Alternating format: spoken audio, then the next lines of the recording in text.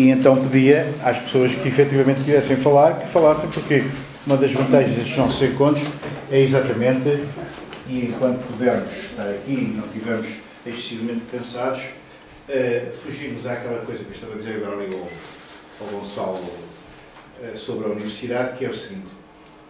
Uh, quando há realizações na academia, normalmente, não quer dizer que não haja exceções, também se organizam coisas em que há mais tempo a falar, mas normalmente é tipo, há uma pessoa, ou duas, ou três, ou quatro, seja quem for, que fala de cátedra, que fala de um, de um pedestal de sabedoria, e as outras pessoas, quando muito, têm a necessidade de formular uma pergunta.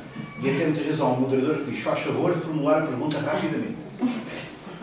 Bem, eu sempre detestei isso profundamente.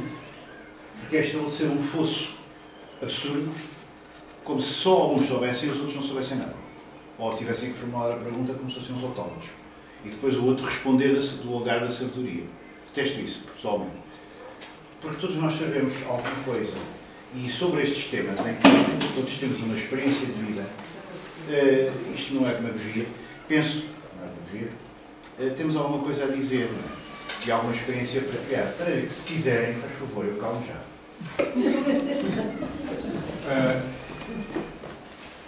eu, eu, à partida, não sou turista, nem sou viajante. E não sou turista por aquilo que já foi aqui dito.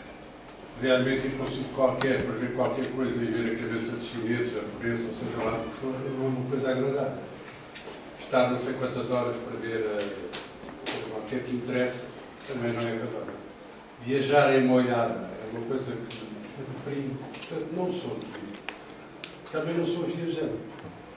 Eu penso que um viajante é aquele que é capaz de estar tempo suficiente num sítio para, sobretudo, entender as pessoas. É que tem que falar, para já, tem que falar a mesma linguagem delas, porque senão não, não vale a pena a mim foi possível, foi-me dada essa possibilidade porque eu trabalhei fora há algum tempo. E isso permitiu-me misturar-me com as pessoas. Porque essa é que é, para mim, a maneira de conhecer o sítio onde estamos. É ir aos mercados, é ouvir os palavrões, é ouvir as zaragatas, é misturar-nos com as pessoas. A minha última viagem, não é para mim exibir, mas a minha última viagem foi na Roma. Eu Pois isso já foi aqui há uns anos, eu mais saído. E, e, e, até conseguir perceber onde é que os italianos comiam, que era uma coisa tão simples como isso, eu tive alguma dificuldade. Porque os sítios onde eu ia, havia tudo menos italianos. Ou seja, os únicos italianos que lá estavam eram os parceiros me serviam, que até falavam várias línguas. Até conseguir saber onde é que eles comiam, eu andei ali bastante tempo. Ou seja, eu não estive lá muito tempo, tive uns 5 ou 6 dias mas só no quarto, quinto, no quinto dia é que eu consegui descobrir isso. E descobri para o espanto que o comer que, que, os italianos, enfim, comiam, não era aquilo que me estavam a dar. Porque aquilo que estavam a dar é uma coisa que acontece em qualquer lado do mundo. Portanto, em qualquer sítio, em qualquer restaurante, em qualquer teco se come aquilo que se come em Roma. Mas os italianos não comem aquilo. portanto, ou seja, como exemplo, eu entendo que para se conhecer o país é preciso, essencialmente, falar a língua, a língua deles, eh, dar-lhes a entender que estamos misturados com eles. Somos estrangeiros, mas queremos conhecê-los, queremos estar com eles, queremos conhecer as pessoas. E, fundamentalmente, ir aos mercados. É o sítio ideal para conhecer a maneira de um país. Paulo Portas Não sei. Paulo Portas era forte. Paulo Portas. Paulo Portas. Mas o que é Ele olhou para mim e Paulo Portas. Fez só uma brincadeira. Os mercados também em Lisboa. Ah, desculpa. eu não consegui estar a tempo das comunicações e tenho muita pena Portanto, isto é, é, é ligeiramente marginal, mas eu queria só um, lembrar que esta mesma noção da viagem, que é uma coisa relativamente recente, e tinha sempre uma finalidade, a viagem diplomática, a viagem à Terra Santa, a viagem de aprendizagem por fins muito específicos e, portanto, de facto, é um fenómeno relativamente, pelo menos em termos das, do, do comum dos mortais, é muito, muito recente. E também, talvez por ser tão recente, eh, e é fruto da democracia de algum modo, e do capitalismo, como bem dizia o Vitor Oliveira Jorge, as pessoas mimetizam esse fenómeno uh, esperando, muitas delas eu creio que esperam aprender também nas suas viagens e que também vão fazer processos de iniciação, como muito, muito bem disse. E queria lembrar o velho livro do Júlio Verne, que é exatamente o vitriol.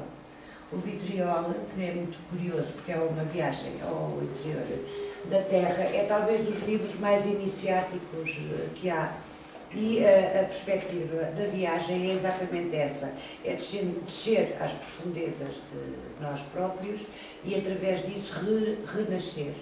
Que, no fundo, é o que fazem todas as, ainda hoje, todas as um, entidades iniciáticas, é que fazem viagens, efetivamente, uh, viagens que correspondem à marcação simbólica do espaço e, através dessas marcações e, e desses espaços, se vão, ao fim e ao cabo, uh, autoconhecendo uh, e cada vez melhor e descendo a si, a si próprios e ao conhecimento.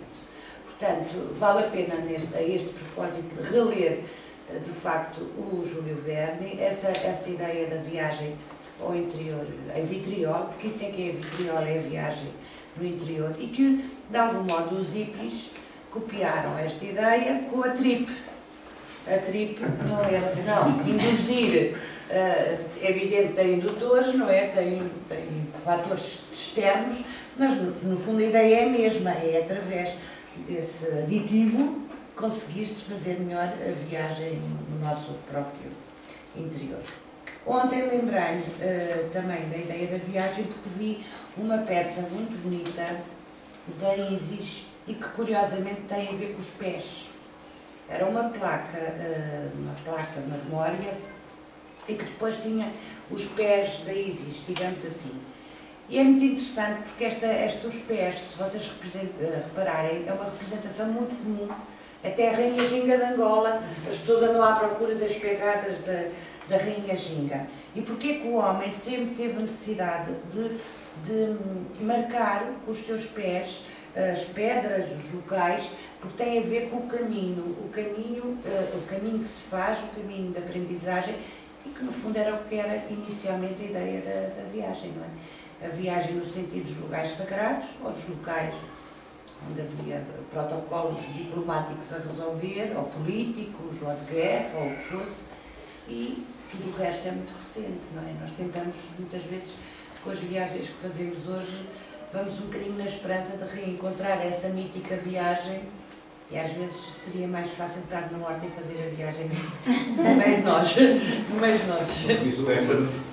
Como? O Essa diz isso. Pois, uma viagem maior. É, posso? Não, agora a pergunta que se pode fazer é quem é que pode viajar? Esta, esta intervenção desta companheira fez-me lembrar, eu creio que é o Ferreira de Castro nos Imigrantes, que ele tem uma expressão que diz o homem que que sobrevoa dois continentes adquire uma nova dimensão do mundo, ou seja, descentra-se do sítio onde habita, do território que está fixo e, portanto, esta ideia de uh, se transpor para outro local permite ter termos de comparação entre o seu, a sua vida e o seu cotidiano e um outro uh, mundo com que ele se vai uh, confrontar e descobrir, não é?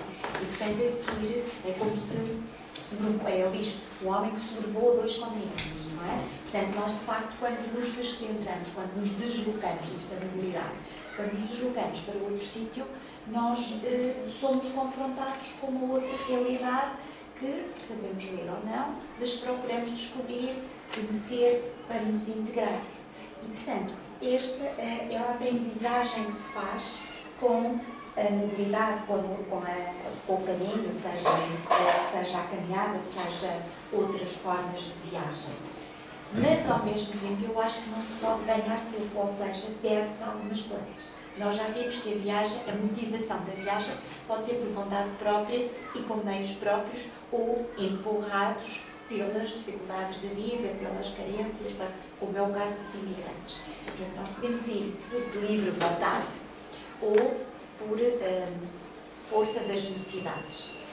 Mas quando nos deslocamos e aquela questão das caminhadas, de marcar o caminho, não é? Tem que marcar o caminho. Uh, nós perdemos raízes. Ou seja, como se nós estivéssemos plantados num determinado sítio e perdemos em termos de pertença. E transformamos também, porque esta mobilidade e a relação com outros, outras realidades e outros povos, que é o que acontece aos imigrantes, a certa altura não são nem de cá nem de lá. Porque não são genuinamente uh, integrados na, na, na, na comunidade onde vivem, no sítio onde vivem, e quando o retorno, quando regressam à Terra, também não são aceitos como já não somos nossos, não é? Há aqui uma pertença que se perde e uma identidade, entre aspas, chamemos-lhe assim, que hum, deixam de ser de cá ou de lá, não é? Portanto, há também perdas hum, que, se, que se produzem na viagem e há ganhos de aprendizagem um, e é curioso porque estava a pensar no Michel Foucault, que faz na Biologia à Loucura, nem que ele diz, que há os prisioneiros da passagem. Ou seja, quando nós passamos por um determinado sítio, mesmo as pessoas que estão em profissão, os jogadores de futebol, os jornalistas, são obrigados a deslocar-se. Meu filho é jornalista e às vezes dizia assim: Oh mãe, já tive seis meses em Londres. E quando chega, já. A minha filha. Ele já pertence ali um bocadinho, não é? Ele já se movimenta mais, já lá esteve, já tem amigos, e sobretudo agora falando na globalização e nos jovens. Às vezes há um sentimento de pertença a um sítio que nós gostamos muito e que estamos parcialmente lá. Ou em trabalho, ou em viagem, quando chegamos há aquela sensação de ser acolhido e de estar em casa, de chegar a casa, embora não seja a nossa casa. É? Mas, ao mesmo tempo, esta pertença uh, torna-se difusa, porque nós já não somos de sítio nenhum. E acho que isto também, a globalização, provoca um bocadinho esta situação.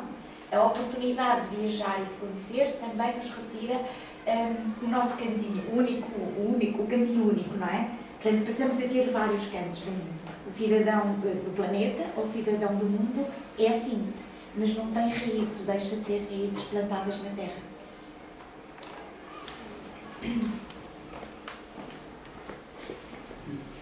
No fundo, é a proliferação destes novos aparelhos, como sejam as tablets, os computadores portáteis, eh, variedíssimos outros eh, aparelhos, eh, é no sentido, efetivamente, de promover e de, e de auxiliar e de serem componentes desse nomadismo, não é? Porque, no fundo, mais cedo ou mais tarde, de uma forma ou de outra, todos somos nómadas, não é? E, e, e o ideal é transportarmos connosco um aparelho identitário. Por exemplo, quando, quando nós vemos o apego que as pessoas têm aos telemóveis, não é? Que é um dispositivo uh, diabólico, porque nos interrompe a qualquer hora e a qualquer momento, quando menos esperamos e quando muitas vezes menos queremos, não é? Chega-nos a interromper mesmo em momentos uh, extremamente impróprios, é? incomodativos, é, é, um instrumento fatal, é? é um, um, fraturador da realidade. E todavia toda a gente se agarra a ele de uma maneira identitária, vejam como no metro. E, e lá fora via-se isso muito. As pessoas liam muito, cá não se via tanto porque havia menos hábitos de leitura, porque a nossa escolarização foi mais tardia, não é? Mas lá fora via-se muitas pessoas no metro, por exemplo, em Paris, iam muitas delas a ler para não suportarem o quê? A extrema constrangimento que é ir com imensas pessoas, todas metidas numa caixa, não é? Que é mesmo constrangimento do elevador. A gente, quando encontra um vizinho no elevador, a gente tenta evitar entrar com vizinhos nos elevadores. Mas quando apanham um vizinho no elevador, a gente tem que dizer aquelas frases que é um pouco o que o Desmond Morris chamava o catar social, não é? Então hoje vamos ter chuva, não é verdade? Pois é. Então cá vamos andando, não é verdade? Então vai para o terceiro, não é? Pois. E, uh, efetivamente, um, uh, o que eu queria dizer, uh, há precisamente esta promoção, por exemplo, eu vejo as pessoas entrarem nos comboios, vão muito ao Porto, não é? E, e tirarem das mochilas ou das malas, pressurosamente, o seu computador portátil. E todos vão ali, quer dizer, a pessoa tem dificuldade porque nós não temos comboios confortáveis. A, a ideia de que os nossos comboios são muito bons, bem, não são tão maus como isso. Mas eh, muitas vezes uma pessoa vai carregar uma tecla e carrega na, na do lado porque aquilo abalou, balançou, mesmo nos alfa. Não são assim comboios tão confortáveis como isso.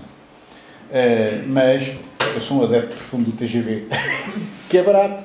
Eu fui de Montpellier a Paris por 30 e tal euros, no primeiro andar do TGV, em plena neve, não é? Numa altura em 2010 janeiro de 2010, em que nevou em toda a França, até no sul estava coberto de neve, e, e fui num conforto extraordinário e por 30 e tal euros. É uma coisa fantástica. Mas enfim, o que é que se há de fazer? Embirraram com o TGV, como embirraram com o segundo aeroporto, que era uma coisa fantástica, porque a gente temos um aeroporto no centro da cidade, originalidade lusa. Não é? Porque uma vez que ia para os Estados Unidos, das poucas duas únicas vezes que lá fui, diz um americano que ia atrás de mim para a mulher. É que é engraçado, estes portugueses são originais em tudo. Até agora, na partida, nos mostram a cidade. Porque, como estávamos em fila de saída, não é? Éramos o, o décimo segundo, ou coisa parecida, não é? Aquelas filas que se fazem. Uh, passou ali junto ao que era antigamente o Casal Vatoso, uh, não era Casal Vatoso, era uma coisa que havia ali na mata do aeroporto que se transformou num bairro Ah. clandestino e não sei o quê. E então andávamos ali a ver aquelas casa- casas uh, que ali há. Pronto, uh, e ele e o outro dia, pá, olha que engraçado, então estes, estes portugueses, não.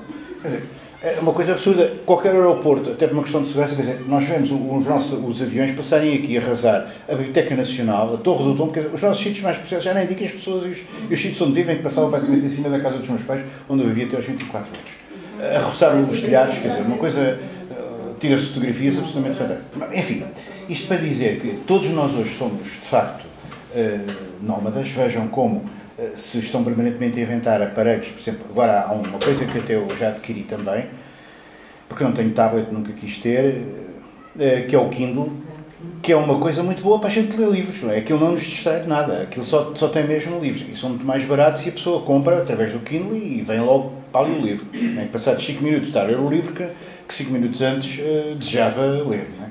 É, é, é, muito bom esse aparelho. Mas é um aparelho de leitura nómada, para lermos em qualquer lado, não é? E, aliás, é essa a, toda a propaganda que fazem ao aparelho. Mas é, é bom, é bom realmente nesse aspecto, não é? Mas isto para dizer que, de facto, vivemos nesta sociedade assim, e, e esse problema que estava a pôr das, das identidades, eh, das identidades fragmentadas, não é?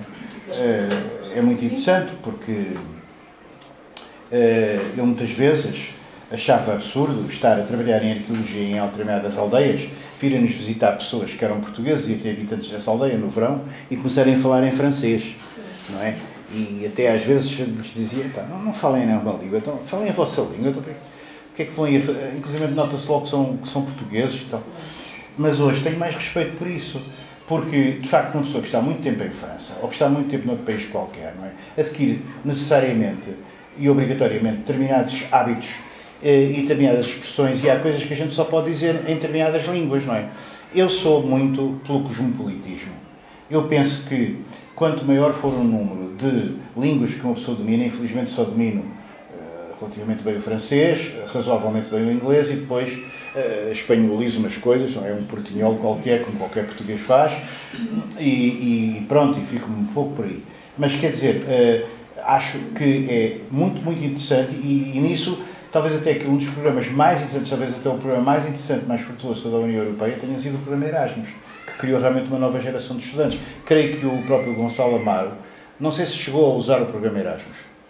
Eu, quando fui para a Espanha, fui com uma bolsa da FCT, mas foi já para o doutoramento, não foi Exatamente, não foi ainda no Erasmus. Já não foi no Erasmus. Já, já, já, pois. Mas, mas há realmente uma geração Erasmus. E, e, e o Erasmus, o Erasmus, como outros grandes uh, pensadores europeus, e se há coisa que a Europa tem, quer dizer, que é outra coisa também que, que me orgulha de ser europeu. Eu não sou também assim, uh, penso que não sou racista, nem sou xenófobo, nem sou nada disso. Mas há uma coisa que me orgulha de ser europeu, é que a Europa criou uma música, não é? Que mais nenhum outro continente tem, não é? Com a complexidade da música europeia, quando a pessoa ouve.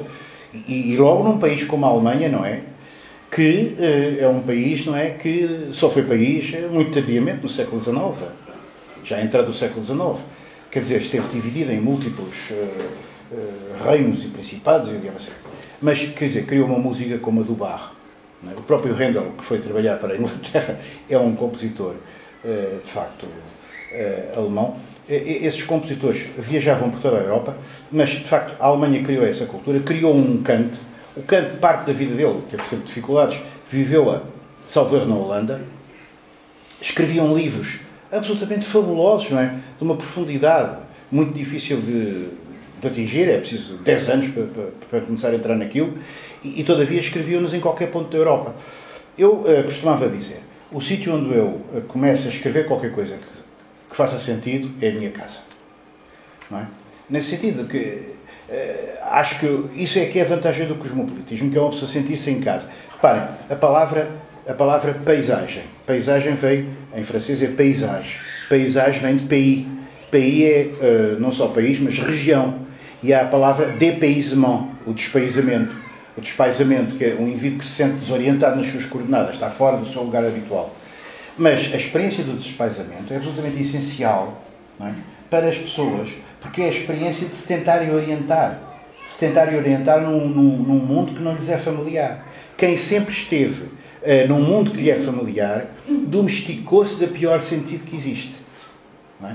Portanto, a, a, a, capacidade de uma pessoa se sentir em casa em qualquer lado, é? e hoje isso está muito ligado, de facto, ao computador portátil, a todos estes dispositivos, e a possibilidade da pessoa transportar consigo a sua identidade, com todos os aspectos positivos e negativos disso. Não é? O positivo é a pessoa em qualquer lado sentir-se em casa e poder comunicar, seja com quem for, e poder, inclusivamente, por exemplo, numa terminal do aeroporto, onde tem que esperar 4 horas para o voo seguinte, como há certas eh, zonas da Europa assim, não é? E do mundo, a pessoa está ali e se tiver uma capacidade de se concentrar, pode. Não é? Eu uma vez, por exemplo, estava no aeroporto, em Frankfurt, e estava ali há bastante tempo e via um indivíduo à minha frente uh, muito concentrado no computador portátil. Eu pensei, mas este senhor, até fiquei com inveja, não é? Tem uma capacidade de concentração extraordinária, de facto. Quer dizer, eu não consigo porque estava um bocado ansioso, já estava cansado, tinha dormido pouco, a gente às vezes não está bem, não, não se sente bem. Então. E eu dei a volta e fui ver. O senhor estava há 4 horas, ou não sei quantas, a jogar as cartas no, no jogo do computador é assustador. A infantilização que também estes dispositivos promovem. Isto é uma loucura, uma forma de loucura.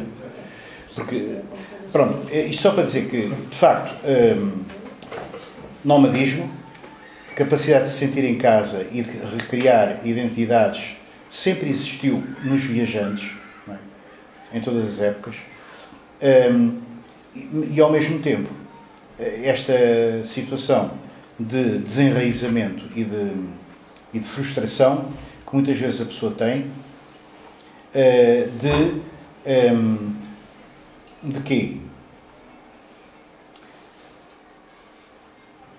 Não sei. Uh, não Passa a palavra. Às vezes é não, é não ser reconhecido como igual. É? A situação dos imigrantes é eles não são reconhecidos e aceitos como não pertencem a lado nenhum e não são reconhecidos como tal.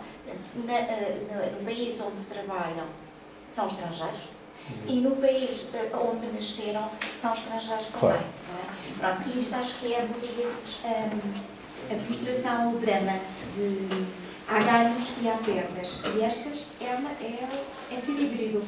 O que pode ter de bom, cosmopolita uh, se sente como tal. Tudo bem? Agora, quando eu quero pertencer, quando eu quero voltar a casa e pertencer à, à terra, à aldeia onde nasci, e já não, ninguém me aceita como tal. É? Claro. Mas repara, onde é que, por exemplo, uma pessoa que realiza um trabalho intelectual, não é? De, onde é que ela quer ser validada? É junto dos seus pais e é junto dos seus pares mais categorizados. Não é? Tem que procurar necessariamente, dentro desse cosmopolitismo, a tribo. Isto não é elitismo.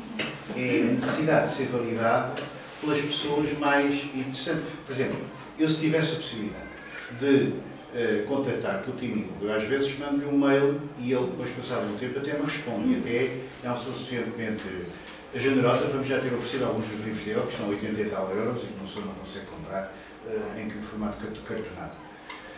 Mas uh, eu não consigo sacar-lhe muito mais. Não consigo sacar-lhe muito mais. Consegui porque o trouxe ao Porto há anos e ele fez lá duas conferências. E quando, mas infelizmente veio com a mulher e a filha, e precisamente a mulher não é nada intelectual, a filha obviamente era ainda pequenita, a filha mais nova era ainda pequenita na altura, tinha 12 anos. Tem quatro filhos. Como? Tem quatro filhos. Ele já tem filhos mais velhos, que eu nunca vi, que eu nunca conheci.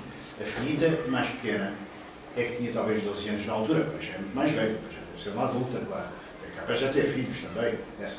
Ele tem netos, mas, mas os netos são de outros filhos anteriores eu. Agora, o meu problema foi todo que a mulher e a filha serviam de ecrã, serviam de, de cortina, não me deixavam entrar em contato com aquilo que eu queria sacar ao Ingold. Mas quando o Ingold estava fora das conferências, ele não queria nada falar de assuntos intelectuais, entre aspas. Ele queria falar da vida corrente. Eh, isto aí é um problema sempre que a gente tem com estas pessoas, não é? Eh, que é, Não, é, não, é, é porque tu sentes que durante 5 minutos, 10 minutos antes do avião, antes de eles chamarem os passageiros para o avião, normalmente ia sempre buscar as pessoas. Fazia destes tipos das agências de viagens com o nome da pessoa e tal, punha assim que é para a pessoa ver. Ia sempre buscar, ia sempre levar. Isto aconteceu com mais de 100 pessoas no Porto ao longo do tempo tive. Quer dizer, eu ia muito ao aeroporto. E, realmente, eh, o que é que eu fazia? Era durante a viagem até o hotel e depois, quando convidava para qualquer coisa com a pessoa, é que eu lhe sacava, é que lhe sacava o sumo. Porque é aí que se apanha as pessoas melhor. Quer dizer, lá, eu tenho este problema assim, assim, eu não compreendo esta coisa. Não me dá uma solução num livro, uma coisa qualquer. É aí que a pessoa me dizia. Eu, quando veio cá o Julian Thomas, em 2004, que me ofereceu o livro dele, Arqueologia, Modernidade, e aliás fez lá uma conferência no Porto, para mim, abriu-me assim, Acho que fui esse. em 2004, Acho que sim. Foi lá. Fui, Foi eu estive numa com o Julian Thomas. Bem, eu quando ele depois se organizou uma mesa com alguns estudantes e uma coisa assim do género. Não sei se foi essa a segunda vez. Já não lembro. Eh, Esta foi a primeira que ele foi lá. Não. Eu só sei, só sei quando ele acabou a conferência dele, achei que era tão interessante, tão interessante, que eu, eu levantei-me a aplaudir e disse: é brilhante, é absolutamente brilhante o que acabamos de ouvir. Ora, claro, isto é raríssimo, não é? Isto é raríssimo. Eh, quer dizer, uma vez que fui ouvir o Giorgio Agamben, que é um filósofo italiano absolutamente fabuloso, eu não sei italiano, mas se ler alto percebo. Quando compro um livro, quando, já comprei livros em italiano, não é? Do Agamben mesmo, e, e li em voz alta, para perceber. Eh, mas a conferência dele percebeu-se perfeitamente toda. Quando acabámos, eu e uma colega minha, que por acaso depois nos encontramos, foi em Serralves. Serralves é o paraíso do Porto. Serralves é o oásis da cultura do Porto. Se não houvesse o Serralves nem a Casa da Música, aquilo era um zero. Eh, De maneira que, eh, à saída, eu, eu apanhei uma colega minha, uma amiga minha, e estávamos ambos estonteados. Tínhamos acabado de ouvir que se passaram um evento, que era um evento, no sentido mais perfeito, quase milagre. Uma coisa fantástica. De uma inteligência brilhante, pura, que não havia uma palavra a mais. Uma coisa magnífica. E às vezes isso acontece. Acontece nós encontrarmos essas pessoas. E quando encontramos essas pessoas, nós queremos sugar-lhes o sangue como um autêntico vampiro. Quer dizer, nós dizemos assim, eu tenho aqui um tempo de antena de 5 minutos na minha vida, eu desgraçado que em Portugal, numa periferia horrível, eu tenho possibilidade durante 5 minutos de estar em contato com uma das maiores pessoas do mundo. Quer dizer, isto é fundamental. é? E eu tento por tudo. E assim consegui algumas coisas. Eh, e consegui uma delas que foi precisamente eh, penetrar um pouco na obra do Ingo. Obra do Ingo, que tem um livro, tem um livro que se chama precisamente Pensar com os pés, ou Pensar caminhando. Que dá uma importância enormíssima. Sinking to Making, não é? Eh, tem o Seeking Through Making, Ah, mas também tem uma coisa, não sei quê, On the Feet, que eu não me lembro o primeiro nome, eh, e que é muito interessante porque precisamente ele dá à marcha, dá à caminhada, uma importância muito grande. Mas é preciso ver qual é a linha do Ingle, não é? Porque isto tem tudo a ver com a filosofia. Nos, nós, nos, nos atos mais cotidianos, nos nossos atos mais cotidianos, tudo tem a ver com uma filosofia, não é? Eh, O Freud explicou-nos isso, nós até a defecar, existe toda uma. Como é que é dizer? Toda uma conotação enorme com esse sentimento de alívio que nos dá o defecar. Não é? Portanto, eh, o caminhar, o caminhar é uma coisa intuitiva do ser humano. O ser humano, a criança aprende a caminhar, nós aprendemos a caminhar, ensinaram-nos a caminhar. E como nos ensinaram a falar, como mais tarde nos ensinaram a desejar. Por aí fora. Portanto, são coisas essenciais do ser humano, é óbvio. Agora, a questão toda é o que é que está ligado a essa eh, valorização, do, por exemplo, do, do, do, do- sensorial que está por trás da ideia de caminhada, ideia de, ideia de caminhar e da ideia de natureza que o Ingle tem, da environment, não é? Que é eh, muito de origem, quer dizer, de, de inspiração heideggeriana, portanto fenomenológica, como, como vocês sabem e disse muito bem. Isto é, o, o Heidegger tinha a seguinte ideia. Não existe uma divisão entre nós e o mundo. Nós estamos imersos no mundo, nós fomos deitados no mundo, nós fomos atirados ao mundo. E uma vez atirados ao mundo, nós eh, constituímos aquilo que em alemão se chama, eu não sei alemão mais uma vez, mas esta palavra a gente sabe, não é? O Dasein, quer dizer, o ser imerso no mundo. Que é um ser eh, que eh, digamos, aprende com o corpo todo. Desde logo a importância da caminhada. Nós aprendemos com o corpo todo, nós, nós pensamos com o corpo todo, não é? E, portanto, existem as várias sensações, eh, a áptica, quer dizer, o tato, o odor, todas essas, os sentidos. Esses sentidos, normalmente na ideia clássica, não é? Eh, nós partimos da sensação, que depois cria, de facto, a, a percepção e que depois vai criar a representação cerebral. E estes indivíduos das ciências do, da, da, da, do cérebro, da mente e da filosofia da mente e das ciências uh, cognitivas, todos eles apontam para esta progressão, mas todos eles andam à procura, não é? incluindo Damasio, todos eles andam à procura de uma tentativa de eliminar essas dicotomias. Só que eles continuam a, a, a pensar por essas várias dicotomias. Há uma espécie de, de, de aparelho progressivo que, que vai desde, uh, desde uma coisa quase automática, não é? que é a imagem que se espelha na retina, etc., depois é processada pelo cérebro, e depois o cérebro atua sobre não sei o quê, quer dizer, todas essas coisas mecânicas que tentam transformar o homem numa velha, uma velha aspiração que é transformar o homem num robô. Praticamente. É isso que é, é o problema da inteligência artificial, é esse. O. Como? O Odradek. Uh, esse agora não estou a ver quem seja. Kafka, quando ah, tá. fala. Ah, claro, está certo. Ora, uh, eu creio que, que o Ingold uh, tende para um monismo de origem espiritualizante. Embora seja tudo ao contrário do que eu diria se estivesse aqui. Ah, eu sou materialista. Ah, eu não acredito em transcendência nenhuma. Ah, eu quero perceber o homem com os pés de terra. Mas aquela vontade que ele tem de reduzir tudo a uma unidade, é? que é uma unidade perfeita, onde corpo e alma estariam unidos, onde uh, tudo seria na base da experiência, por exemplo, quando ele fala de, em vez de landscape, sabem o que é que significa landscape, não é? Paisagem. Landscape. Que vem por causa de uma confusão que se fez com landscape. Quer dizer, porque a palavra landscape, uh, a origem da palavra landscape era originariamente traduzir originariamente a, a fabricação, a, a, a, imposição à paisagem de linhas, ou seja, que é outra ideia do, do é? ou seja, a, escrita, a, escrita, da paisagem. o homem com o arado é? traça a terra em linhas, traça a terra em linhas, fabrica paisagem, faz, faz terra humanizada, humaniza a terra. Um, e um, essa é a experiência do agricultor. Mas o agricultor não conceptualiza normalmente a, terra como paisagem. Não concepto, como aliás disse aqui, quando foi do colóquio sobre paisagem. Quer dizer, o agricultor uh, conceptualiza o, o, território em que está, em que se mexe, como um sítio, uh, digamos, uh, que eu não sei como é que o cérebro conceptualiza, é para mim um, é para mim um grande enigma, porque nunca fui agricultor, mas, mas como, como sou esse, como sou o mundo, não é?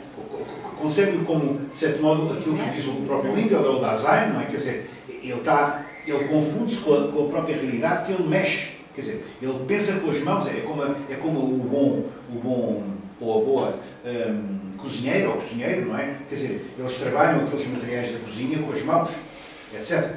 E, portanto, uh, não interpõem entre si a realidade grande, grande maquinaria ou grande instrumento. Quando esses grandes instrumentos começam a aparecer, existe uma outra objetivação da natureza, é?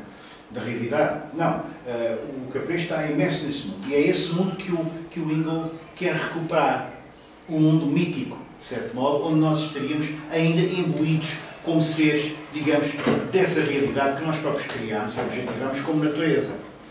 Mas eu penso que ele, de certo modo, um, ehm, cai numa realidade um pouco, eh, como é que é de dizer, um, ehm, querendo eliminar querendo eliminar todas as barreiras que separam o homem daquilo que ele faz, porque ele diz: Nós aprendemos fazendo, nós somos fazendo, nós somos aquilo que fazemos, etc.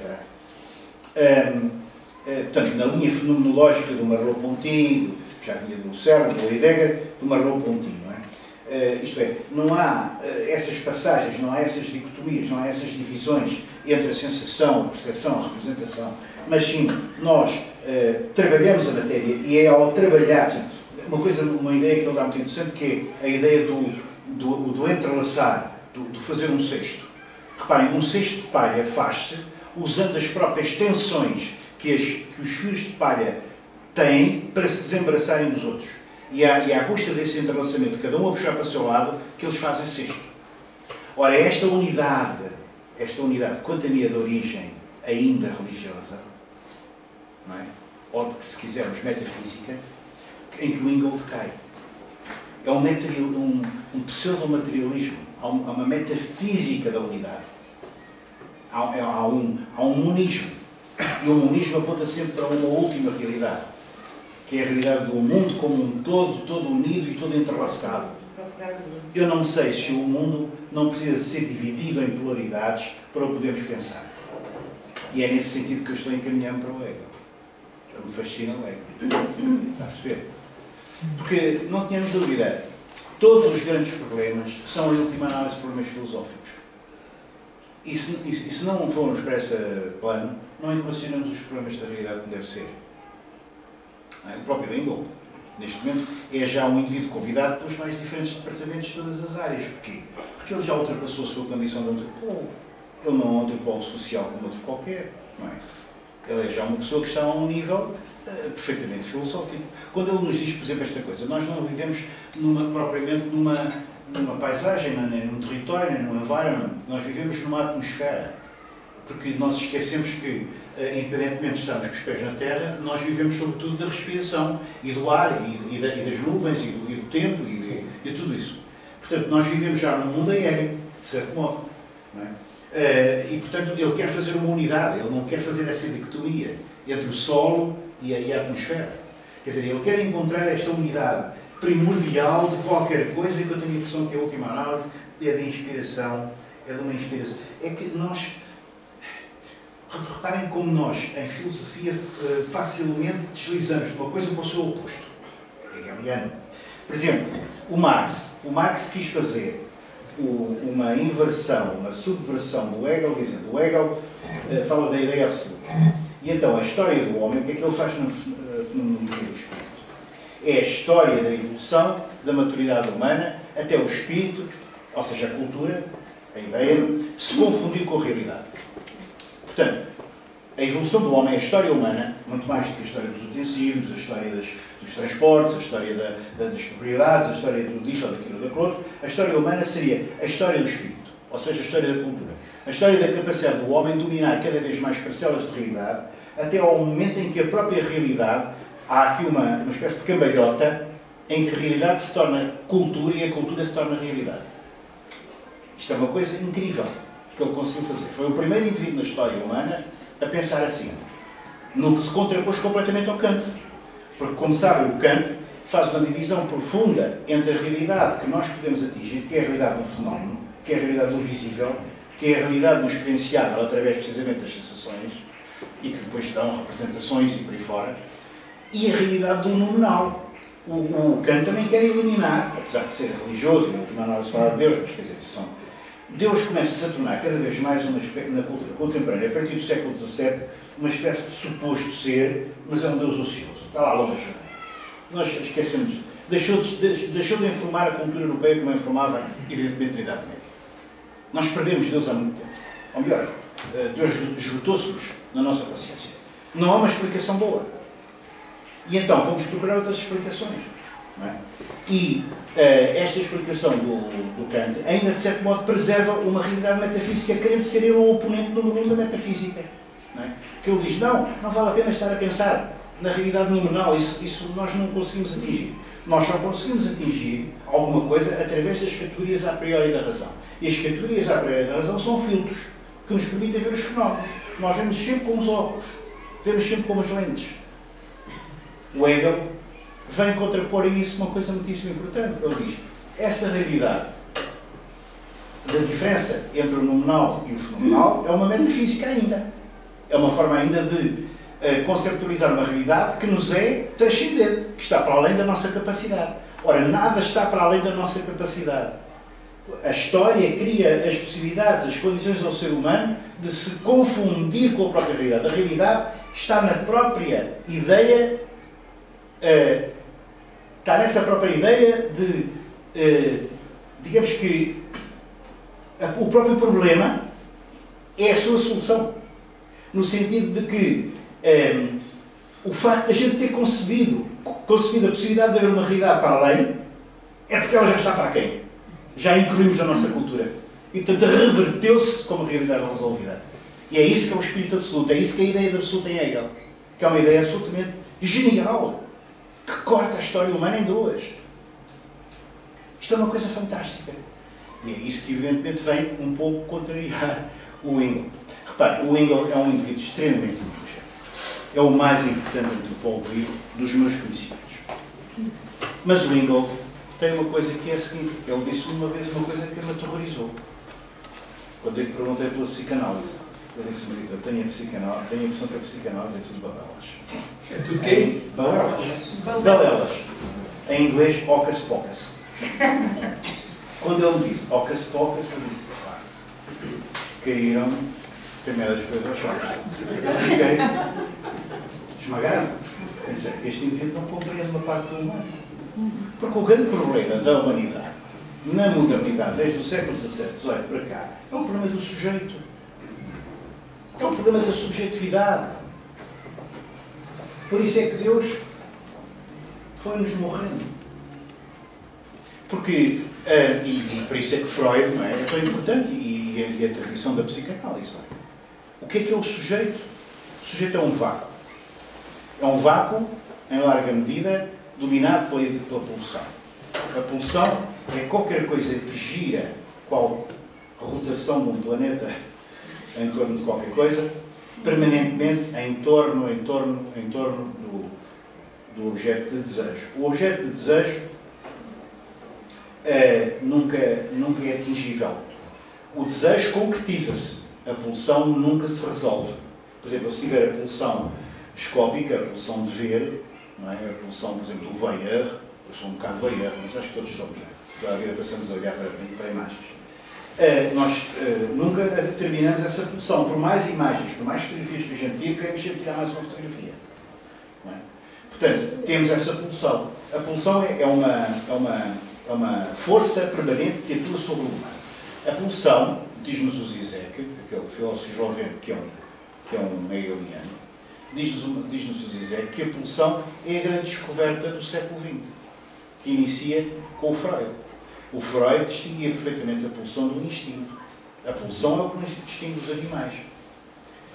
Outra coisa é o desejo. O desejo é uma coisa realizável. Simplesmente, quando eu realizo um desejo, imediatamente tenho outro. E a sociedade de consumo aproveitou-se disso maravilhosamente.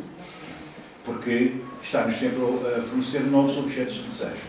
Como nós perdemos, de certo modo, esse tal Deus que era o grande, a grande ordem, o grande ó, ou se quisermos dizer em francês, o grande outro, o grande outro, com A grande, como perdemos esse grande outro, nós ficamos apenas com uma espécie de restos. E esses restos são os objetos de desejo. Os objetos causa do desejo. É aquilo que o Lacan, o psicanalista Lacan, que foi buscar ao Freud muita coisa, mas depois escreveu também muita coisa ele, chamava os objetos de pequeno A. O que é que eu vejo, por exemplo, uma pessoa que faz com que eu goste dela, com que me apaixone por ela, muito embora, se for, por exemplo, do ponto de vista racional, e me perguntarem porquê é que você está apaixonado por aquela pessoa, não sei. É o objeto de pequeno A. A pessoa transformou-se no objeto do desejo. A pessoa, uh, eu criei uma fantasia, criei, por isso, num casal há sempre três. No mínimo, num casal heterossexual, há menos três. Que é um homem, uma mulher e a fantasia. Ou se quisermos quatro, que é a fantasia do homem e a fantasia da mulher. Mas quando estava a falar da fantasia, não sei de abstrato, a fantasia dos dois. O casal, quando faz amor, está sempre a fazer amor para um grande e outro qualquer, que não existe, para um vácuo. Mas, se não tiver a fantasia, diz-nos o Zizek, uma coisa muito interessante, se nós eliminarmos a fantasia, eliminamos o próprio desejo. É quando nós estamos num ato sexual e de repente nos damos conta que estamos num ato sexual. Acabou o ato sexual. Naquele mesmo momento. Certo? Porque perdemos a fantasia. Ao perder a fantasia, perdemos a própria realidade. A realidade é uma construção fantasmática. Isto é absolutamente fundamental. Ora, não tendo o Ingol, achando isto ocas-pocas, balelas, creio que o Ingol vai num sentido em que nunca mais vai encontrar nada. Mas, reparem, isto é um pouco como a gente dizer prefiro Mozart a Beethoven ou prefiro Bach a Mendel. Quer dizer, o Wendel é tão inteligente, é como o Agaga, é tão inteligente, tão interessante, tão fascinante, uma pessoa apaixona-se por ele. É um objeto do meu desejo. Os, os escritos dele, não ele em pessoa, claro. Uh, os escritos, o que escreve, é um objeto do meu desejo. As, as ideias dele são um objeto do meu desejo. Muito grande. Porquê? Porque eu quero entender. Tem esta pulsão, como todos nós temos. Queremos entender. Uh, simplesmente, eu tenho a impressão que ele vai pelo caminho errado, mas já o coloco numa espécie de caixa esplendorosa, onde eu sei que quando for vou ali vou assistir um filme. Filme esse que é muito interessante, mas não é o filme. Para mim, o filme está no outro lado. E eu penso que isto que é um estádio interessante de, de, de amadurecimento intelectual, que é a pessoa já não procura encontrar uma verdade que impõe aos outros, ou uma verdade que seja superior à dos outros, ou outra seja coisa que houver. Uh, cada um tem que construir o seu fantasma, tem que construir a sua fantasia, tem que construir a sua fantasia intelectual, quer dizer, o seu percurso intelectual, tem que encontrar a sua linha de pesquisa, não precisa nada ser igual ao outro, nem deve ser, porque senão seria extremamente monótono, extremamente aborrecido. Cada um tem o seu caminho, digamos assim, a sua caminhada a fazer, mas com uma certeza, é que uh, há com certeza caminhadas mais interessantes do que outras. E, e neste sentido, uh, caminhar sim, mas caminhar com um objetivo qualquer. Caminhar com um objetivo que se, cai, que se vai construindo no próprio ato de caminhar e esse caminhar é, em grande parte, uma deambulação. Precisamente o tal Flaneur que falava há pouco ali, ali a Sofia. Uh, quer dizer, uh, é uma deambulação. Uh, só que é extremamente difícil deambular, por exemplo, e por qualquer lado, não é? Não sei que se tenha um GPS, não é? É um bocado difícil. Eu, por exemplo, adoraria ter tempo disponível, isto é, não ter esta loucura de querer pensar e de querer ler o que os outros já pensaram, se eu não posso pensar, e, e me dedicar à fotografia e andar aí pelas paisagens, e, e sejam urbanas, sejam, sejam do campo. E andar por aí e a fotografar aqui, ali e lá, encontra-se sempre objetos interessantes. É como todo o visitante que não vai apenas para ver eh, Bangkok em quatro dias. Não é, eh, não é preciso ir a Bangkok. Eh, basta ir aqui assim a qualquer sítio à volta da cidade, ou mesmo aqui dentro do conventinho, ou se eu tivesse circunscrito uma pequena sala ou uma pequena, até dentro da minha casa, não encontro objetos de repente olho para eles e vejo uma sombra e vejo uma luz e digo, está ali uma fotografia. Portanto, quer dizer, não é preciso ir muito longe na viagem. Não é preciso ir muito longe.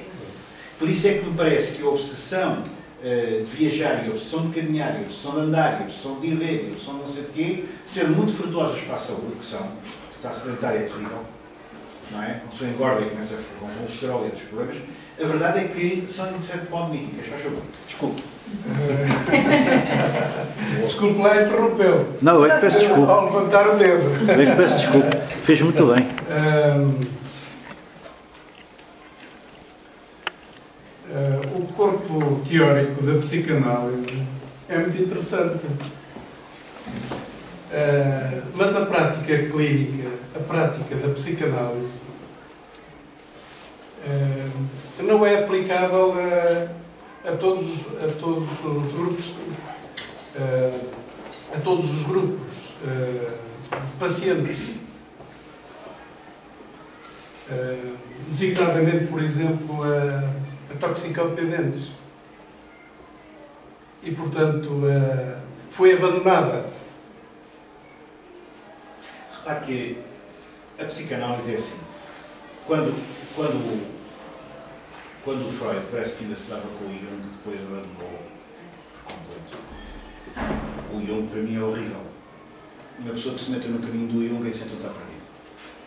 Mas quando eles acho que ainda se davam, foram aos Estados Unidos num vapor, um barco a vapor, precisamente, coletando com os comboios, não é? Comboio, barco a vapor, os grandes transportadores do mundo industrial nascente, finais do século XIX, princípios do século XX. Eles chegaram aos Estados Unidos e diz o, o Freud, salvo para o Jung, parece-me que era o Jung que ia com ele. Diz-lhe ele, estes americanos nem sabem o que é que a gente lhes traz aqui. Ou seja, levavam-nos lá uma bomba que era a psicanálise. Mas os americanos espertos rapidamente lhes transformaram a psicanálise numa coisa que aparece, digamos assim, nos filmes do Woody Allen, o Homer Shrink.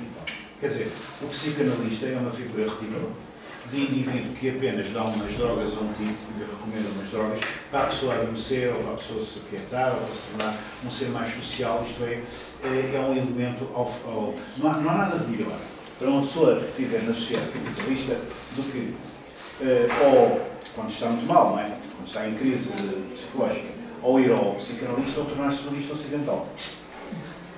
Porque o budismo ocidental é exatamente a ideologia da quietude. Então não faz nada. Esse gajo não se revolta. Fica, fica ali no nirvana. Que é o que o capitalismo mais quer. Portanto, hum, e depois na fase seguinte passa a ser consumista, vai estudar no mercado, ser comerciário. Portanto, uh, isto só para dizer que a psicanálise tem muitas, muitos caminhos. E um dos caminhos foi esta americanização que destruiu a psicanálise. A psicanálise dos Estados Unidos, em grande medida, não quer dizer que não haja uma outra figura, não é? Mas a psicanálise dos Estados Unidos não vale nada, porque está uh, transformada numa mercadoria.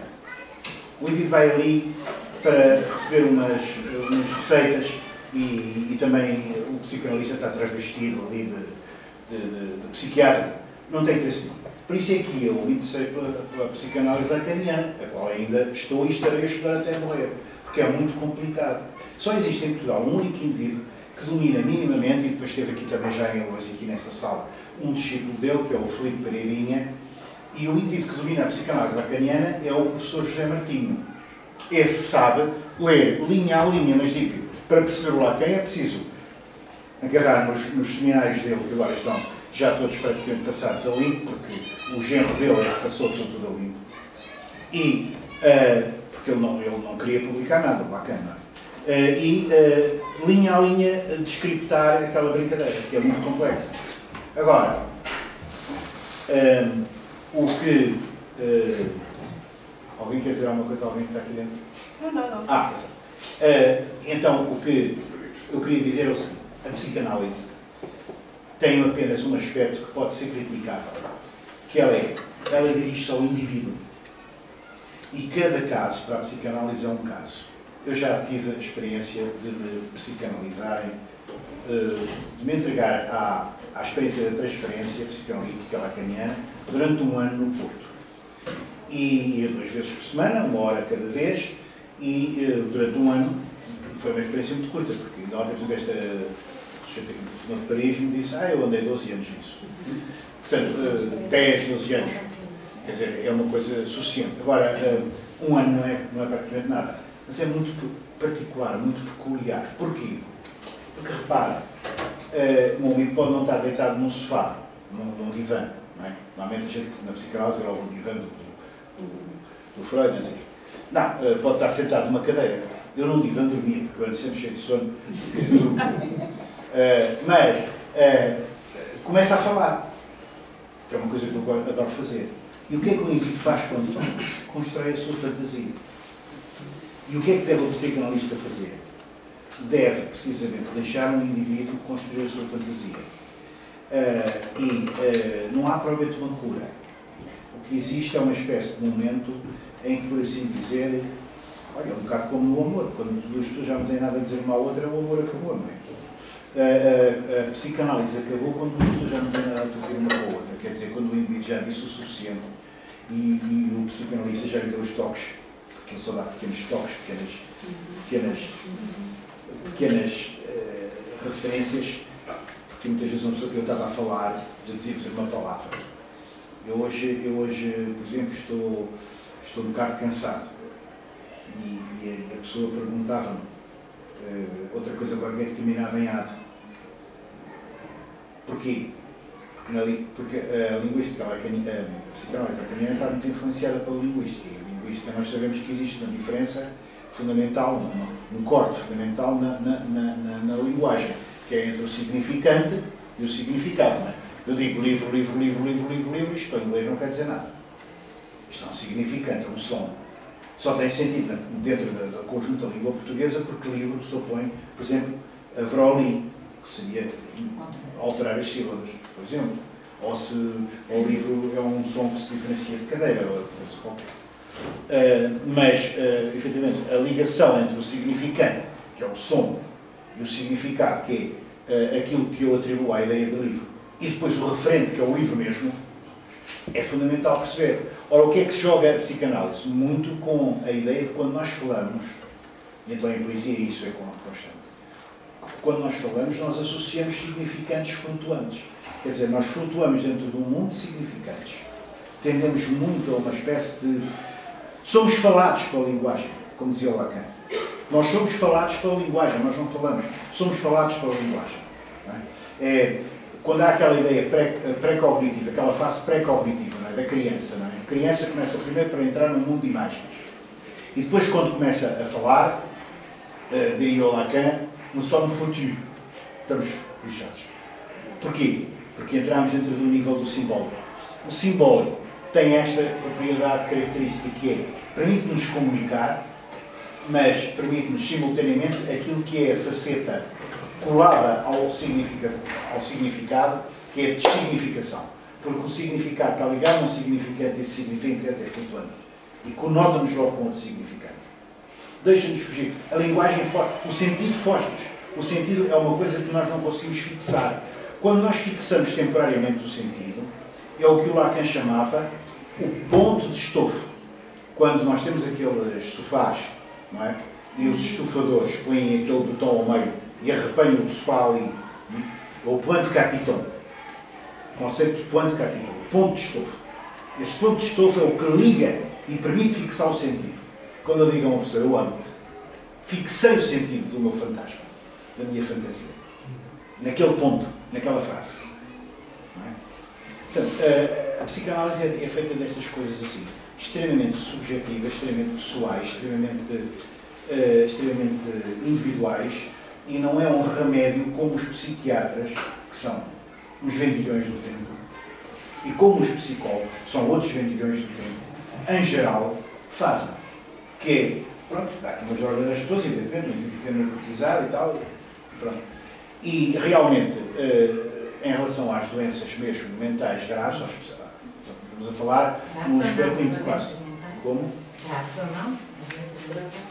Uh, quer dizer, Normalmente a psicanálise o distingue o neurótico. Porque o exemplo que eu estava a referir, como problema.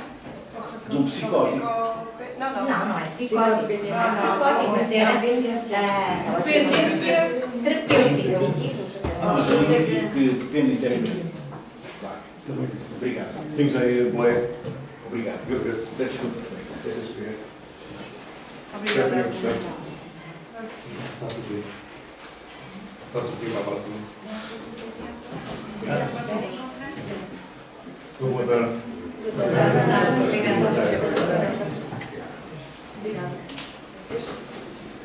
É, há uma diferença entre o psicótico e o neurótico.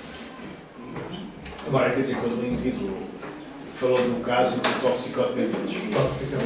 Estava a falar da, da capacidade que a psicanálise tem de, uh, da capacidade terapêutica. No caso de uma doença mental. E essa está mais ou menos posta de lado. É que a psicanálise não utiliza a cura nesse sentido uh, que nós normalmente temos. Diga não tem tanto uma função terapêutica, tem uma função de tomar consciência de reflexão. Tem uma função, tem uma função muito mais fundamental. Sim, sim. Quer dizer, não substitui muito mais fundamental. Terapêutico. Repare, o terapeuta está muito ligado a esta sociedade funcionalizada, em que rapidamente queremos resolver todos os problemas. O terapêutico está muito ligado a isso. Sim, só confundir o raciocínio. Não é dar a cura e encontrar a cura. Quer dizer, aquilo porque os outros dão qualquer coisa. E a pessoa tem que se encontrar, tem que se reconstruir. Exatamente. Não, é que, não, é que o problema não está na, é, do que é isso da cura. Ou seja, que é, isto? É, é, é uma crença, não é? O que é isto? Que o A cura, e coisa. psicanálise, na psicanálise lacaniana é a travessia do fantasma. Ou seja, é o facto da pessoa se- ser capaz de lidar bem com as suas fantasias. Isso é que é a cura. A cura, a cura é uma transformação. A cura é sempre uma transformação.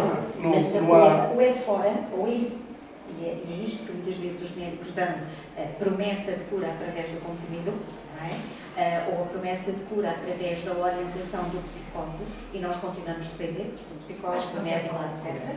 Ou Pronto, por isso eu, eu acho que não. Ou ah, isso que diz, ah, a transformação, porque a saúde, ela própria é um equilíbrio instável. Exatamente. Instável. E é Exatamente. esse, saber navegar que nós temos que ter É É é. É, é procurar o equilíbrio, não é? Que é sempre instável. Que é sempre instável. Só gostava de contar uma história por graça, porque eu gosto sempre de voltar aos E há antigos. vários instrumentos gosto sempre de voltar à antiguidade. A psicanálise, como ciência, é uma coisa muito recente. Mas os oráculos de Esculápio faziam isto com uma beleza que vocês não imaginam. Induziam em incubácio nos, nos mentes, tal e qual como é feito agora, parece que lhes dava uma coisa com base de papoila, que também já era conhecida do ponto de vista medicinal, punham-nos deitadinhos e eles sonhavam. E depois vinham os sacerdotes de Esculápio e interpretavam os sonhos tal e qual. Portanto, os sonhos, é um processo de sonho, e era através de- de- do- da interpretação dos sonhos que se chegava, e a ajuda, não é, ao paciente, que se chegava à cura, entre aspas, não é? Se chegava. Com uma vantagem extraordinária, só se pagava aos sacerdotes o rol de coisas. Porque é conhecido o rol. Há casos de descrições do esculápio daquilo que se tinha que oferecer aos sacerdotes, mas só se entregava mediante a cura. Eu acho isto uma coisa que é divina, porque não vai, eh, se- não há pagamento, ou seja, não, há- não é como agora, e como é que o Vítor, o professor dizia muito bem, é que muitas vezes transformou-se esta matéria seríssima num- nos vendilhões do templo, exatamente, porque depois ela também é muito eh, produtiva do ponto de vista eh, financeiro, não é? E eu, era outro reparo também numa coisa muito importante que o professor há bocadinho referiu, que é a questão da- da- do caminho e, e do fito do caminho. Todo o mundo ocidental e toda a mitologia todas as religiões estão baseadas no pressuposto que é encontrar, no fundo é o mito do eterno retorno, mas do ponto de vista religioso, encontrar o ovo cósmico e unir o disperso. Todas as religiões, todas as mitologias, se vocês ver, desde o início, portanto, é o ovo cósmico que se separa e que se, eh, o ovo cósmico que se separa e que depois vai a sua desfragmentação, dá origem a toda a evolução e a todos os seres humanos. E no fundo nós todos crescemos a pensar que a nossa caminhada é no fundo uma tentativa de unir o desporto, o disperso de qualquer forma. E se perdermos este sentido de vida, estamos tam- também nos sentimos um pouco perdidos. A questão é encontrar outra forma de raciocínio, porque esta, sem querer, é vinculada por todas as religiões e todas as mitologias, não é? Que é um sentido de vida. é? Nós todos parece que temos que ter uma missão, um sentido de vida, eh, e que no fundo é esse unir o disperso. Quando saímos fora desta esfera, entramos na fragmentação assustadora, é onde é que está o nosso eu, desfragmentado, que função é nossa, estamos Mas a essa é a grande fazer. pergunta da Essa é a modernidade. grande pergunta da modernidade. Porque é que o Mas- Kant formulou aquela pergunta, precisamente, que é, eh, há quem saiba dizer isso em alemão, eu não sei, mas é uma pergunta fundamental, que é, que é o homem?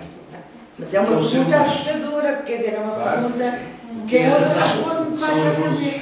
Ele tem dois textos, um é o que são as luzes, não é? que é a razão, e outro que é o ser humano. É? E o ser humano, fragmentar o pensamento milenar é que muito difícil. a modernidade caracteriza-se por, uma, por, uma, por isto fundamentalmente, em que ela pensa sobre o que é que ela, ou pergunta sobre o que é que ela é, que nenhuma das épocas anteriores perguntou. A pergunta é que nos caracteriza, não é a resposta. É a pergunta. turning point é muito perigoso e muito interessante e fascinante. Por isso é que o É verdadeiro conhecimento é o conhecimento que termina sempre na pergunta, não é?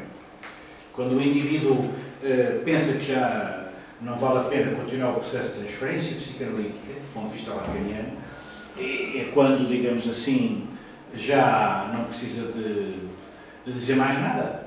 Eh, Isto é, eh, como é que é dizer? Já é capaz de responder às suas perguntas com respostas que o satisfazem assumindo que elas são completamente arbitrárias, que é a construção do seu fantasma, da sua fantasia.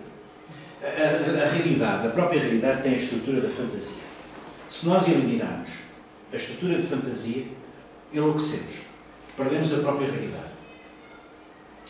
Portanto, a, a- a criação da fantasia é fundamental e cada um tem a sua, não é? Mas eu quando dizia que prática clínica da psicanálise não, sur, hum, portanto, não surtiu efeito em, em determinados grupos, designadamente no grupo do, dos toxicopedos. Não Eu surtiu, aproveitei para. portanto, não, sur- não, surtiu, não surtiu efeito. Portanto, eh, teve que, teve que se recorrer a, outra, a outro. Eu dou um exemplo. Eh, portanto, houve, eh, houve um, um psicanalista que, que trabalhou com toxicodependentes e, e não, não, não conseguiu eh, obter resultados. Mas isso foi da pessoa. Hã? Mas isso foi da pessoa. Primeiro é preciso perceber o que é que Deixa-me- são toxicodependentes. Não, mas deixe mas Que deixe- drogas é que tomam? não, mas, Quem é que mas, cuida? mas deixe-me acabar, deixe-me acabar. A diversidade é tão grande. Deixe-me deixe acabar. Portanto, ele trabalhou com, com um grupo de toxicodependentes e não conseguiu obter resultados. Eles continuavam-se a drogar. Eh, e questionou-se o que é que eu estou aqui a fazer. Não estou a fazer nada. Portanto, até teve vontade de desistir da profissão. Eh, e, entretanto, foi eh, ele trabalhar para o Ministério da Justiça e, entretanto, entrou em contacto com uma, uma instituição, com uma eh, instituição onde trabalhavam, onde toxicodependentes, eh, portanto, havia, era uma, toxi, uma, uma comunidade de, de autoajuda. Eh, e ele viu alguns resultados nisso. Eh, e, entretanto, ele achou que, trabalhando com a comunidade de toxicodependentes, com um grupo de autoajuda e com um método que ele, entretanto, achou que podia trabalhar com um método misturado com esse grupo, ele conseguiu obter resultados. Conseguiu obter resultados. Portanto, ele próprio chegou à conclusão aqui a psicanálise, neste grupo, não me dá resultados. Não me dá resultados. Portanto, eh, Certo, Quer dizer, primeiro, não há uma psicanálise, como é evidente, há milhares de psicanálises diferentes e, por exemplo, eh, há autores que. que- E, ma- mas deixe qualquer- deixe dizer. Depois, eh, outros, outros, psicanal, outros psicanalistas chegaram mesmo- à, à mesma conclusão. Isto é a ciência. Quando se aplicam os mesmos métodos e os resultados são idênticos, isto é a ciência. Não é? Pois, eh, o problema é que Eh, também não podemos ainda usar. Pois, também não podemos endeusar a ciência. A ciência. Nesse, nesse, Nem nesse, nesse, sentido. Mas, portanto, mas, portanto eh, com que nos invadem, que nos, inve- nos vendem as coisas, reparem. certo. Eh, Mas a verdade, mas a verdade, mas a verdade é que aplicando determinado tipo de técnicas obtiveram-se muito melhores resultados do que com a psicanálise. Não devido, quer dizer, é, é muito provável que haja pessoas que sejam absolutamente. eh, como é que é dizer? Como é que se pode uma aplicar a psicanálise a uma pessoa que está completamente destruída pela droga? Não é, mas não, o problema não, não, não, o problema, não, É um não. contrassenso, não é? Não sei, não sei. processo, quer dizer, isso é impossível. Eu não interessa muito. Qualquer doença mental, qualquer alteração, não é uma doença, qualquer alteração Não, da mas- personalidade grave não Então- pode ser tratada pela psicoterapia, pela psicanálise, muito menos pela psicoterapia. Porque isso Não, não existe é se a verdade. pessoa esteja num Não. processo de raciocínio. Não, mas não é verdade. Isso não é Ah, isto verdade. é tudo discutível. Não, Não, é que não é eu penso verdade. desse assunto. Não é verdade. A pessoa Mas é deixando, verdade, a não. pessoa deixando de tomar drogas, a pessoa estando desintoxicada fisicamente, O caminho até desintoxicação é muito estando, não, isso É é duro, mas é, Mas mas é possível. A pessoa estando desintoxicada fisicamente pode entrar num processo terapêutico. Sim, mas o problema é a dependência. É o que é que gera a dependência, não é? Nós estamos a falar. O senhor é que falou em toxicodependentes. Exatamente. Eu não falo, não uso esse termo. Mas se estamos a falar de dependências, tem que se perceber o que é que está na origem da dependência. Qual é a substância É e qual é a, a necessidade que a pessoa tem de a tomar. Está bem, mas isso é outra Não é? coisa. Não, mas é que é justamente o É problema isso. da, da psicanálise. é assim, Eu não estou pessoalmente muito interessado na psicanálise, eh, no aspecto clínico, não tenho competência sequer para isso. Não, é? não estou interessado. Eu só me interesso à psicanálise das suas repercussões Então não, então se pode falar. Por isso- por E isso- por oposto aos psiquiatras e por oposto E há psicólogos. correntes Não sei, não, estou a defender nenhuma corrente.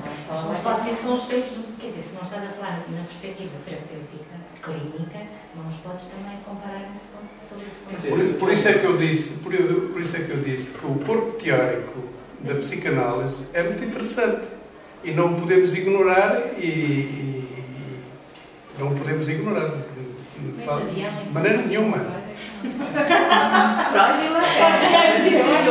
Freud e Lacan. Há, e uma, há uma, tensão. Há uma tensão na cultura moderna entre duas tendências. Uma é a tendência individualizante de que cada caso é um caso e, portanto, digamos aquilo que se chama, a perspectiva ideográfica, quer dizer, cada caso é um caso. A história, por exemplo, a história repete-se, eh, é possível aplicar a uma época histórica ou a um momento histórico eh, eh, um raciocínio ou uma, ou uma comparação ou uma analogia com outra época histórica. Por exemplo, a passagem da- do- do- dos últimos resquícios de feudalismo, se quisermos assim, ou do antigo regime, para a sociedade burguesa, é? representada, por exemplo, pela Revolução Francesa e, e com tudo o que isso implicou depois, eh, sob o ponto de vista da organização que foi introduzida pelo Napoleão? Que é o autor do Código Civil e autor, no fundo, da sociedade, da sociedade organizada francesa, não é? E que, todavia, foi derrotado. Quer dizer, temos aí uma fase. É possível comparar essa fase, eh, digamos, de, de, de extermínio de tudo quanto era barreiras, eh, de tudo quanto era portagens, tudo quanto era barreiras ao comércio e à circulação, à livre circulação das coisas. É possível comparar isso com a época em que nós estamos hoje, também é uma época onde nós estamos a cortar as últimas amarras. Por exemplo, as amarras, eh, por exemplo, com a biologia, é? em que nós estamos a, a- a entrar numa época da, da capacidade de fazer clones, da capacidade de, das pessoas se clonarem, eh, em que se põe o próprio problema de, de- da reprodução é, humana hum, deixar de ser através dos sistemas tradicionais eh, e podemos dedicar-nos apenas ao prazer sem esse problema, ou sem essa consequência, ou sem essa. eh, etc. Portanto, questões tão radicais como estas. Quer dizer, é possível comparar a época, quer dizer, como é que nós podemos conceber eh, não é, eh, um, um fim objetivo da, da sociedade em que vivemos neste momento? Nós vemos uma sociedade que é baseada na extração de mais-valias, não é? como outro dia vimos naquele filme. E, efetivamente, sempre houve pessoas que emprestavam dinheiro a outras e com isso ganharam juros. Sempre houve pessoas que venderam coisas a outras e com isso ganharam algum dinheiro. E, portanto, sempre houve com- comércio, por assim dizer, ou troca. é? Como se diz em francês. Mas eh, o resultado disso era um resultado zero. É? Ou seja, é, é o resultado em que um ganha, o outro perde, mas não há acrescentamento de valor. É? Se, eu vender, se eu comprar uma coisa por 5 e vender por 6, não é? a pessoa que comprou eh, está, eh, digamos assim, um pouco enganada comigo. Eh, mas, o ganho, ela perde, mas o resultado é zero. Não há um resultado de acrescentamento de valor. O que é que o capitalismo introduziu como absoluta novidade na história? Absoluta, desde a pré-história mais antiga. Introduziu a capacidade do capital gerar mais capital. Não é? Portanto, o capital gera mais valor. E como é que gera mais valor? Através da diferença entre aquilo que o indivíduo paga pelo serviço, pelo trabalho que alguém tem para ele a fazer de determinada mercadoria e que o indivíduo depois vai colocar no mercado. A chamada mais-valia. A diferença entre a força de trabalho aplicada, que é a única fonte de verdadeiro valor, que é o trabalho, a diferença entre o trabalho eh, que está eh, eh, necessário para fazer uma determinada mercadoria e depois eh, a maneira como eh, o que se ganha com essa mercadoria, é que está a chamada mais-valia. Ora, esta mais-valia é a grande descoberta do Marx, que, por exemplo, não foi vista pelo Hegel. E aí o Marx, evidentemente, avançou passos muito importantes em frente.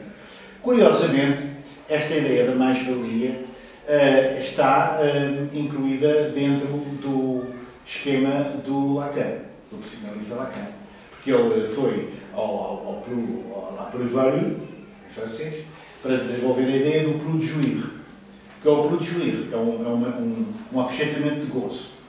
O poder, qualquer poder, é, em última análise, um Pru de Juir. O poder sustenta-se, em última análise, num excesso super-egoico de gozo.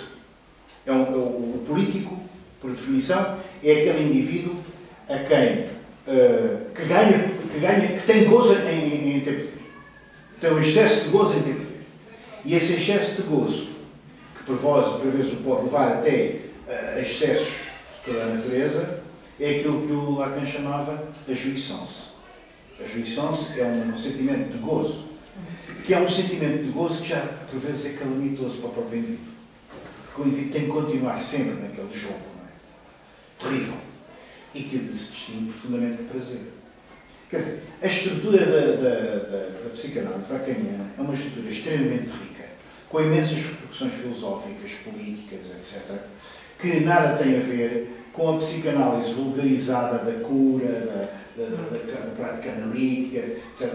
Tem, a ver, tem, tem muito a ver neste sentido, e Lacan também fez sempre prática analítica, e se nós formos falar com uma pessoa, como o professor José Martins, ele diz logo, não, isso não é psicanálise, isso é filosofia. Ele interessa pela prática analítica. Não é? A antena do campo freudiano, que é uma coisa que ele coordena cá em Portugal, uma coisa que tem meia dúzia de pessoas, eu interesso pela prática analítica, interessa pela prática. É um pouco como a arqueologia, quando a gente critica aqueles tipos que só falam de arqueologia ou de assuntos de arqueologia sem praticar em terreno, ou um antropólogo que só estudasse obras de antropologia e que nunca fizesse trabalho de terreno, que é o trabalho, digamos assim, eh, é, digamos, é o processo, como é que se diz, é o ritual de iniciação. É preciso, é preciso ir para um sítio qualquer fazer terreno. Mas a verdade é que, de um ponto de vista de conceptual, a psicanálise, para mim, é, é, é, é inultrapassável. Não estou a dizer é que é um remédio universal, nem sequer do ponto de vista filosófico, quanto mais do ponto de vista analítico. Não é? Eu aí não sou sequer competente. Agora, quando eu digo que os psiquiatras uh, são vendilhões, e com os psiquiatras vão também os psicólogos à mistura, já agora, eu estou a basear o Foucault. Não estou aqui agora a inventar nada. Nos seus seminários do, do, do Colégio de França, não é? que se podem ler, não é? O, a origem do poder psiquiátrico, quer dizer, é um dos seminários, é uma matacão assim, em que ele explica por A mais B onde é que está o poder psiquiátrico, está absolutamente ligado ao poder político. É? E à submissão, à nossa criação como sujeitos modernos. É? Portanto, é preciso ler essas coisas. Senão a pessoa não percebe. Não é? Se a pessoa não percebe, é preciso ler. O grande drama é que se é preciso ler, e a maior parte das pessoas não leem.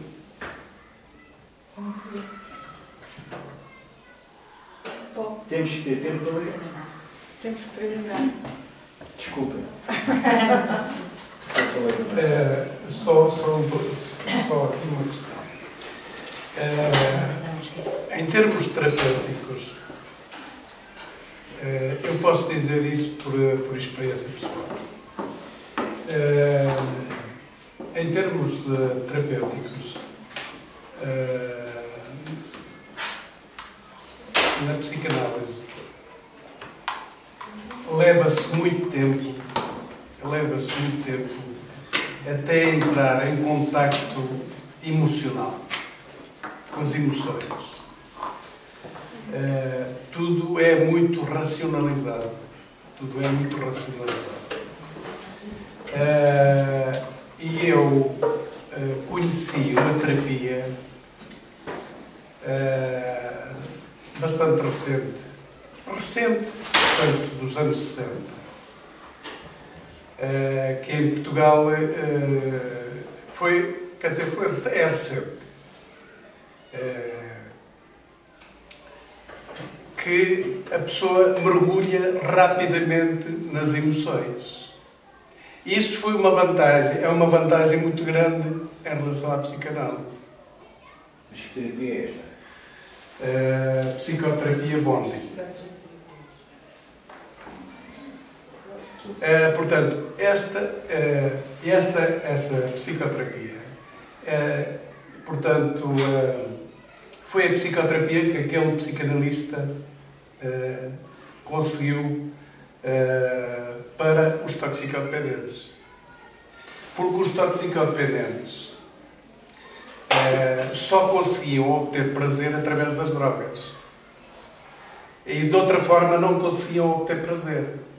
E através da, desta psicoterapia eles conseguiam mergulhar nas emoções e chegar ao prazer. Isto foi a grande vantagem. Confesso que desconheço, mas é sempre interessante ouvir outras perspectivas. Como digo, não, não me interessa o aspecto propriamente da cura prática das coisas. Sim, mas, portanto, é o corpo teórico, é como disse, o corpo, eu estou dentro de acordo com o corpo teórico da psicanálise. Eh, e, e, portanto, para, para, este, para este psicanalista chegar à psicoterapia bonding, teve que passar pela psicanálise. Sim. Portanto, a psicanálise, a psicanálise é que lhe deu o acesso, é que lhe deu acesso a esta psicoterapia. Mas eu sou alerto para, uma, para um perigo que é de unir a psicanálise toda sob uma mesma égide. Porque existem tantas psicanálises diferentes, por exemplo, eh, há, há coisas como as do Jung que não no meu entender, não tem interesse absolutamente nenhum, não é encontrar arquétipos e, e coisas desse género, quer dizer, que seriam explicações universais para determinadas coisas da humanidade, tendências da humanidade, é, é um erro fatal, é, mesmo em relação à psicanálise freudiana, e há muitos indivíduos, como por exemplo o Stigler, que é um indivíduo muito preocupado com os problemas da sociedade contemporânea, Bernard Stigler, e que é muito interessante, tem um livro chamado Estados de Choque, etc.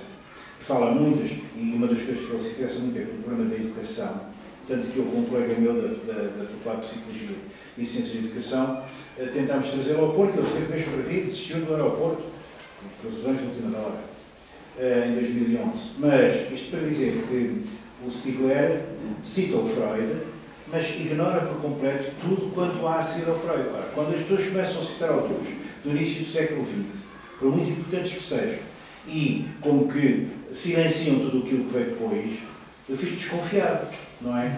Ou seja, não se pode, uh, digamos, também há um colega meu, aliás, uma pessoa ilustre, que na outro dia participou num colóquio que eu organizei na Faculdade de Ciências Humanas da Universidade Nova, chamado precisamente Que é o onde participaram pessoas da primatologia, estudam primatas, estudam macaquinhos e tal, pessoas que trabalham em antropologia, pessoas que são de filosofia, etc. Veio até um índice muito interessante, o Olivier Ferron, da Universidade de falando sobre a tradição antropológica alemã, do Kant, que é muito interessante, para mim foi muito interessante e iluminador.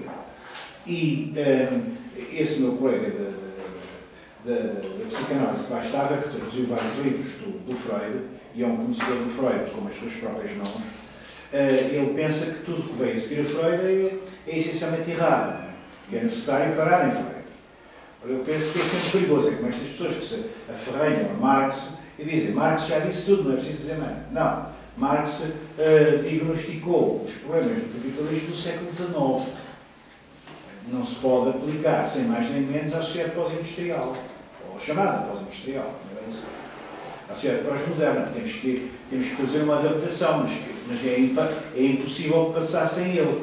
Agora, também penso que não há propriamente uma divisão entre teoria e prática, isto é, nós não podemos dizer psicanálise é teoricamente interessante, mas, mas na prática não funciona. Não, se um indivíduo, uh, para mim, a satisfação que a psicanálise me provoca é muito prática, é, uh, desde logo, uh, digamos, a, a, satisfação racional que eu tenho ao ver os conceitos explicados de uma maneira que é, que foge à banalidade e ao lugar comum e, e, e esclarece, e, neste sentido é que a obra do Zizé me interessa muito. Penso que é o grande pensador contemporâneo, porque ele conseguiu ligar a, a teoria do ego e a dialética hegeliana, foi buscar a dialética hegeliana, conjuga, não esquecendo obviamente a obra de Marx, conjuga com, um, com um, a psicanálise lacaniana, que ele colheu diretamente em Paris do Gerro do Lacan, do Jacques Lamillère.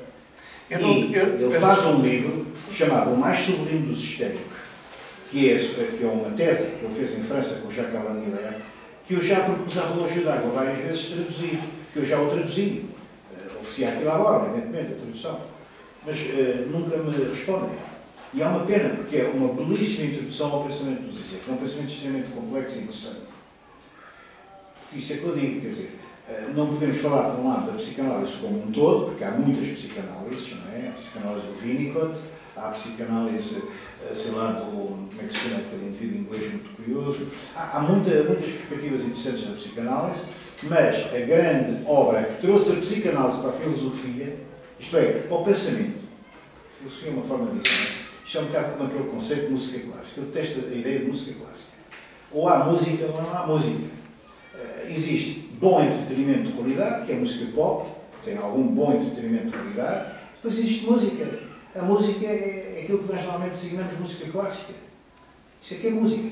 E o pensamento é o pensamento filosófico é? e científico, obviamente. Tudo isto está articulado. Esse é que é o pensamento, o resto é lugar comum, é banalidade. Portanto, uh, a mim interessa muito, interessa sobretudo é, é atingir esses níveis que são muito difíceis de atingir. Existem horas e horas e horas de da leitura uh, para perceber o que é que estes indivíduos querem dizer. Mas também não, não vou agora seguir atrás deles a dizer assim, bem, isto é verdade. Não, não é nada disso. É construção da minha fantasia uh, explicativa do mundo não é? e da minha própria pessoa, pessoal. Não a quero impor a ninguém. Apenas estou a chamar a atenção de que existe na cultura contemporânea, nós estamos na cultura contemporânea numa, numa, numa situação paradoxal, que é, por um lado, existe muita tralha, porque, repare, eh, as ditaduras funcionam, e já passámos, eu passei 20 e tal anos em ditadura, eh, as ditaduras funcionam pelo corte de informação, não é? É, é o, é o lápis azul, a censura.